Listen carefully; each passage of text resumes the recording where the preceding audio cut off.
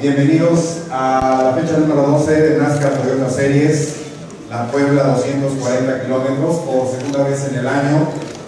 Tocamos eh, una de las pistas más rápidas del campeonato, quizá la más rápida que tenemos en el calendario, por lo cual representa pues, un reto muy importante para los pilotos.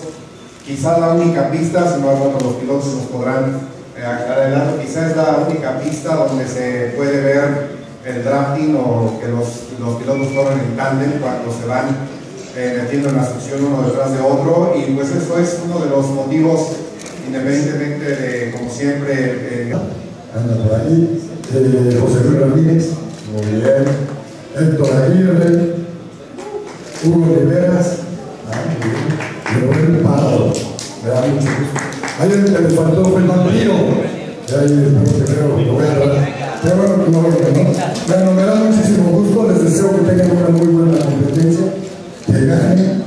Los felicito que siguen corriendo y vengan a correr a la